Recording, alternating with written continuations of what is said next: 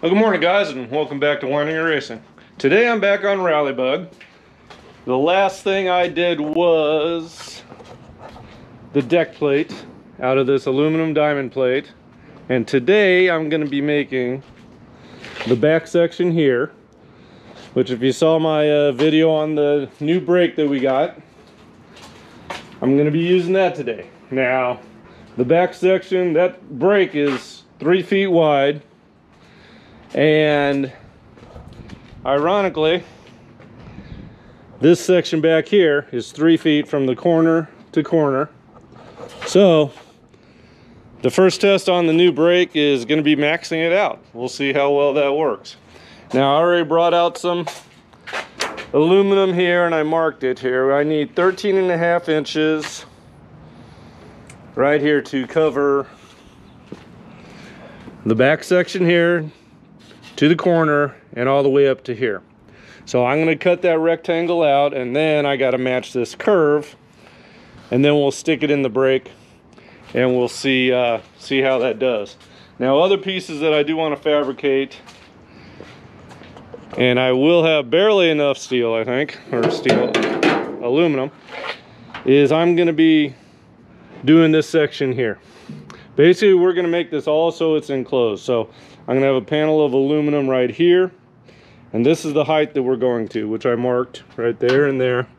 That's why we have this piece of steel here, straight edge. So I'm gonna go ahead, first of all, I wanna take care of this piece here.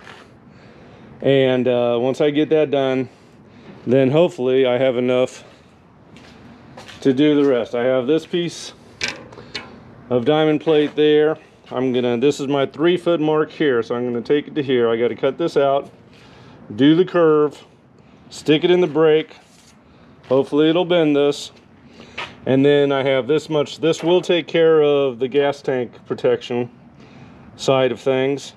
And then I need to do from here to here, right here. And I'll basically just, I'm gonna put little tabs here, just bolt that there uh, I will probably have to go to the metal store and get some more in order to do these sides here.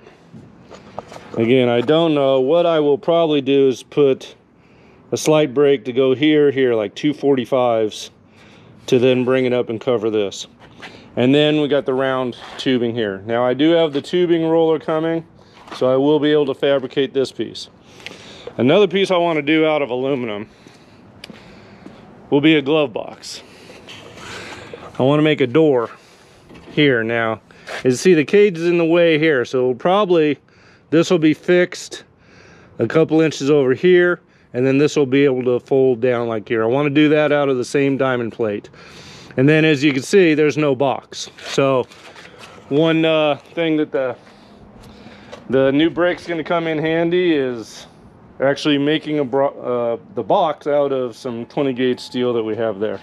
So got a few projects to take care of. I'm gonna get busy and do some work and after I get a little further along I'll bring you guys back and uh, hopefully everything goes well today. I'll see you in a bit. Well guys what I did here was I uh, made a little template out of cardboard to make sure I get this car right because I do not want to cut this aluminum that goes there. Now, from the three foot mark, you can see how it goes straight. That ended up being about two and three eighths right there to that point there. And then I started my curve there. So I took it over to the aluminum. You see, there's the two and three eighths there, started the curve there. So I'm gonna go ahead and cut that and see how that fits and uh, let's get this done.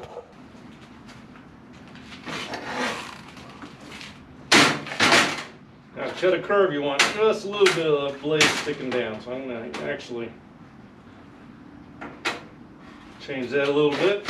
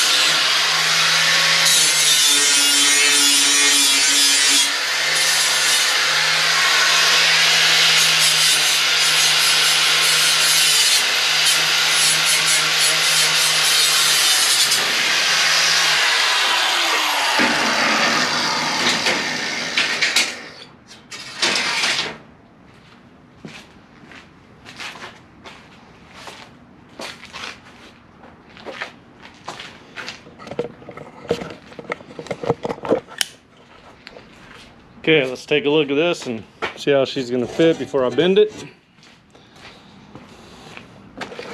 Now, there's that little thing there I need to take out of there, but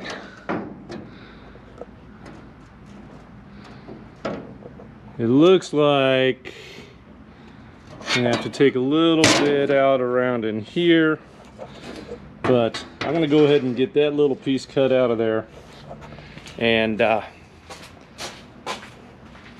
then we can slide it up into place and make this perfect curve.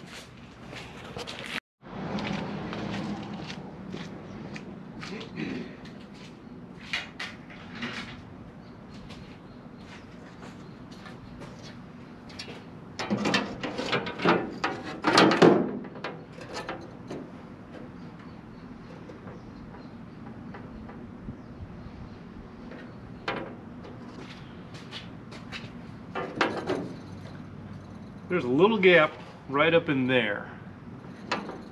But other than that, we're good and tight everywhere. The bend looks to be All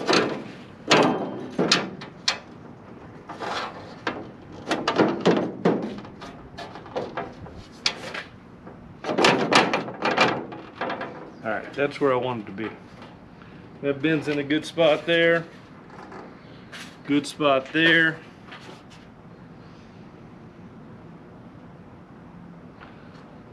We've got a tiny gap in there now. I plan on doing some trim work anyway, so I'm gonna leave it right there and put that bend in it and uh, we'll see how that works.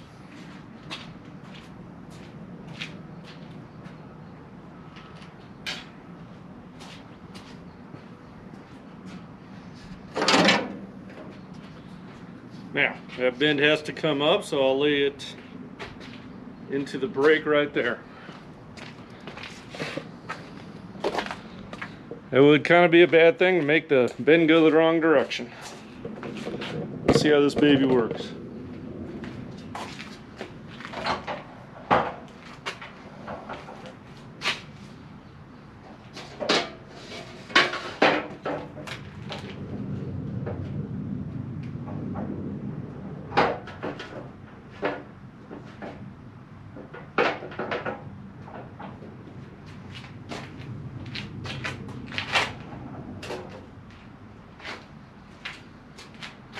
and bend backwards.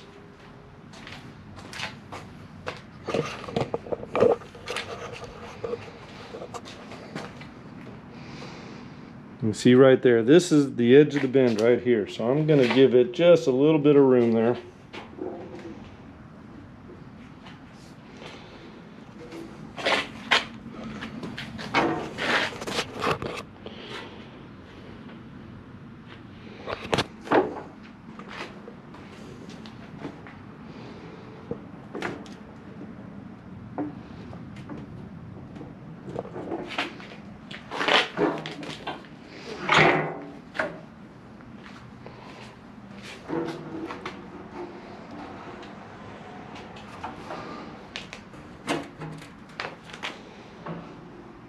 Kind of hard to work this and hold the camera, but you guys will get the gist of it.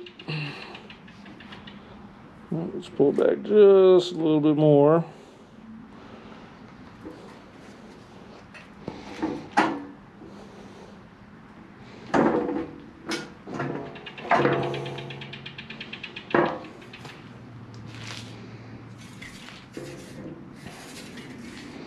All right. Let's give this a shot. Hopefully nothing breaks. That is uh, kind of maxim, maximizing.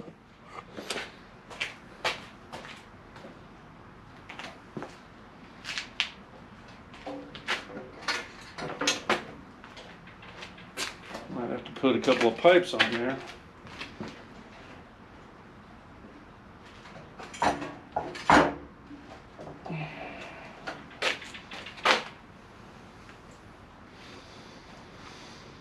Hmm.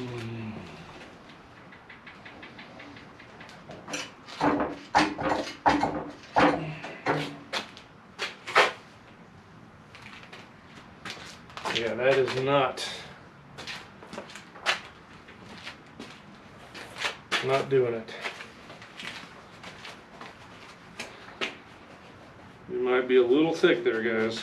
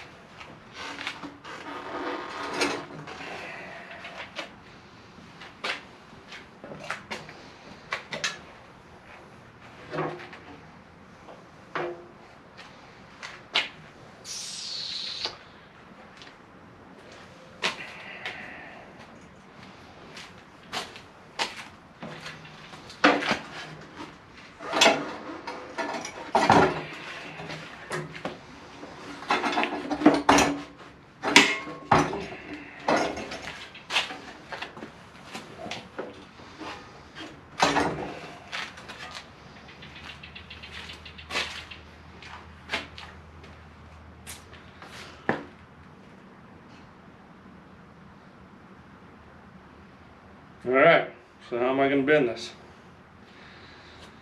At least this is holding it flat.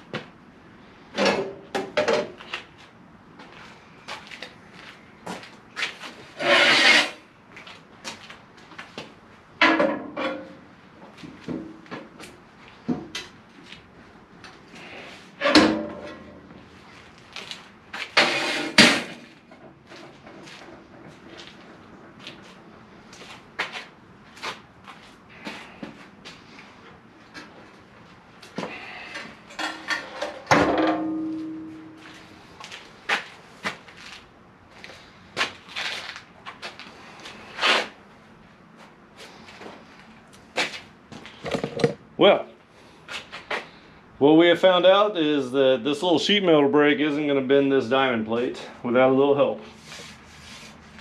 I'm kind of in a place I'm going to have to do a little body work by using that uh, pry bar. But I did end up getting a bend in it, so let's uh, let's see how this looks uh, in the car.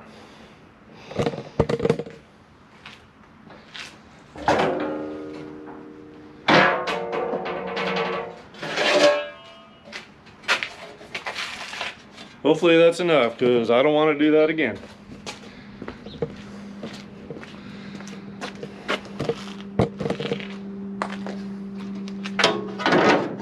Now we're going to have to go quite a bit more actually.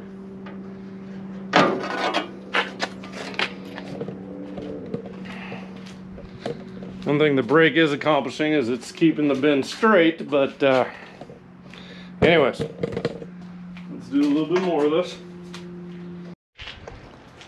All right, guys, I'm back. I uh, did a little body work on this, kind of by the pry bar bend, the pry bar that I had to use to, to do the bend because the brake just didn't handle it.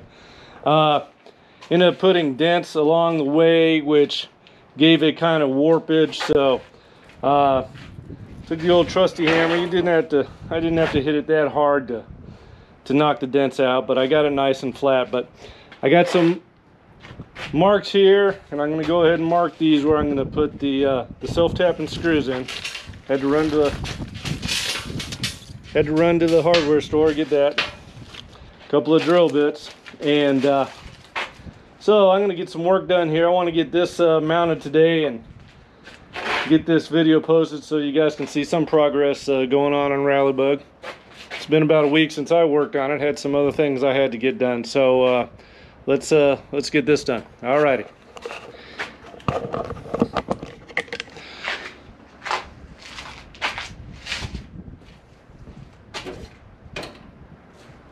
I'm gonna put on my sunglasses because this reflection is bright.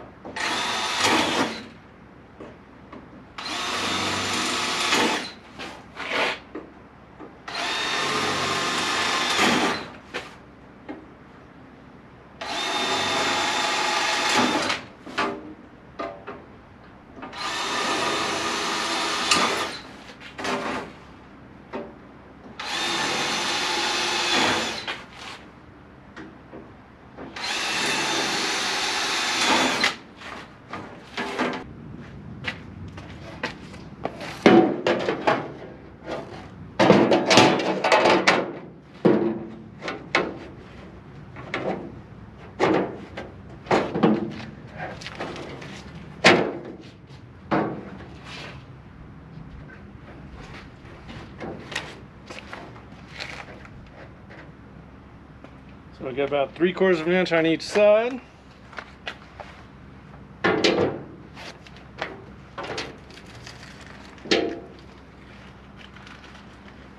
Now I'm not going to shoot all these screws because I know I'm going to have to do a little work on this door to be able to get past that. This door fits real tight and uh, we're adding that 3 16 diamond plate to it. Uh, things aren't going to fit exactly so have to do a little bit of work there. Let's see how she looks with a few screws in it.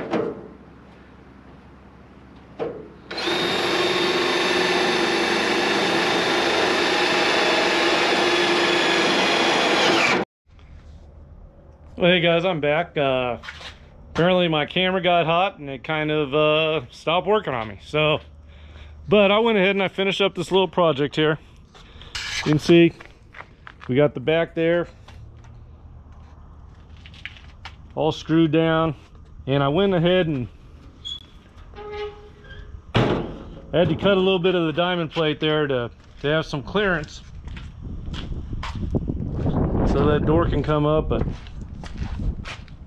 oh I can't wait to get the rest of this finished up but I had to uh, kind of quit working today and uh, head down to the machine shop. Uh, I got the call that uh, the block for the C10 the LS block uh, was in the boring machine and I wanted to get down there and do some videoing and uh, kind of talk with uh, Larry down there, Larry Engine and Marine about uh, all that has to take place to get that motor uh, all ready to go into the C10.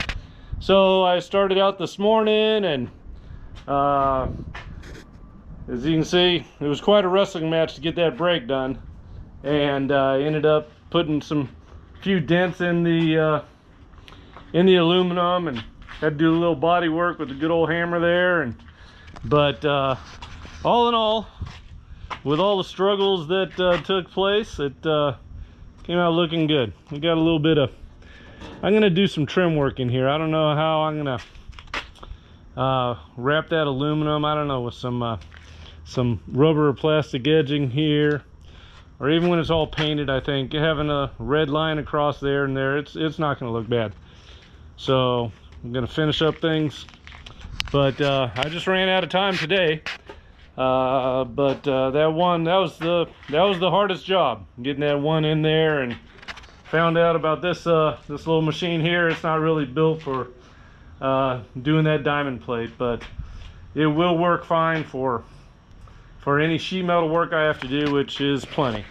And I think anything diamond plate is extremely strong because uh, you know it has the the solid portion of it is so that looks you know that's only about an eighth inch but when you add the ridges there uh, it adds a lot of strength to it and it just didn't want to bend. So it was uh, quite a job but we got it done. We got the panel made. Looks good. It's all screwed in there. Doors functioning. So uh, we're in good shape glad that part of it's done. Glad you guys watched the video and uh, like and subscribe the channel. And I will uh, probably be back at it again in the morning. It's uh it's hot. This is uh, a long summer. It, it usually stays hot in Tucson through September. We start cooling down in October but uh, you know it's about time for some cooler weather. The camera quit on me and now I'm quitting. You guys you have a wonderful day and thanks a lot for watching.